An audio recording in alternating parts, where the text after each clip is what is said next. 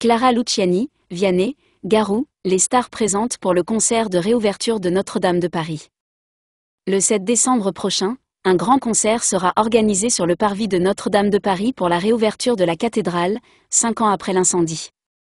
Vendredi 29 novembre, France Télévisions a dévoilé le casting de cette soirée qui sera diffusée sur ses antennes. Le 15 avril 2019, les yeux de la France sont rivés sur l'île de la Cité, en plein cœur de Paris. Dans un moment qui semble suspendu dans le temps, Notre-Dame de Paris, l'un des édifices les plus emblématiques de l'histoire française, s'envole en fumée, ravagé par un incendie qui s'est déclenché alors que le bâtiment était en travaux.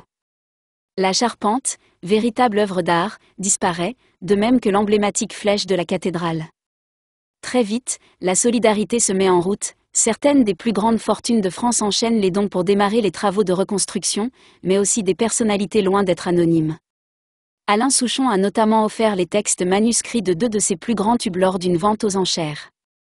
Jean-Jacques Hano quant à lui décide de réaliser un film pour revenir sur la catastrophe, même si son Notre-Dame brûle a fait un bide au cinéma.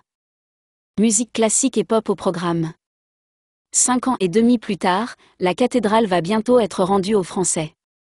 Le 7 décembre prochain, un concert géant sera organisé sur le parvis de Notre-Dame pour son inauguration en présence, sans doute, de nombreuses personnalités.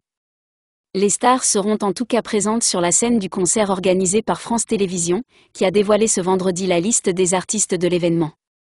On retrouvera notamment un grand nom de la musique comme maestro pour diriger l'orchestre philharmonique de Radio France et la maîtrise de Notre-Dame, Gustavo Dudamel, ancien directeur musical de l'Opéra de Paris et futur directeur artistique et musical du Philharmonique de New York, qui dirigera notamment le pianiste virtuose chinois Lam Lam, vu au concert du couronnement de Charles III. Alors que des grands noms de la pop internationale étaient annoncés ces dernières semaines, Paul McCartney ou Bono notamment, la programmation musicale sera finalement bien française. Clara Luciani, Vianney et Garou seront les têtes d'affiche, accompagnés du DJ Michael Canitro. À noter également la présence de la chanteuse libanaise Ibata Wajen, vue dans The Voice en 2015, ou encore la franco-béninoise Angélique Kidjo, détentrice de 5 Grammy.